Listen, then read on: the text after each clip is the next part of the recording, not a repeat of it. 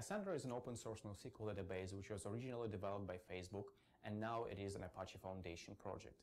Cassandra has several interesting properties which make it very appealing for large-scale deployments.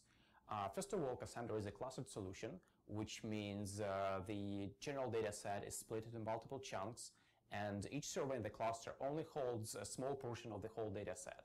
This allows you to scale your throughput by just adding more nodes to the Cassandra cluster. Another property of Cassandra is that all the nodes in the cluster play exactly the same role. There's no separation uh, in between primary and standby nodes or master and slaves like you would find in many traditional systems. Uh, this provides fault tolerance, which means uh, if one of the nodes goes offline, uh, another one can always take its role and the cluster will continue operating in the normal mode. To support this scalability and fault tolerance properties, Cassandra, as any other NoSQL solution, has to make some simplifications when it comes to the data model. Cassandra is using row and column data model, which is similar to relational databases, but unlike relational databases, Cassandra doesn't support table joins or transactions.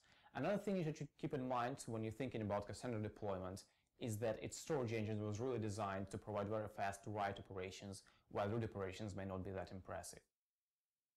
One of the good use cases for Cassandra is storing various time series data, like measurements done on a periodic basis or sensor reading information.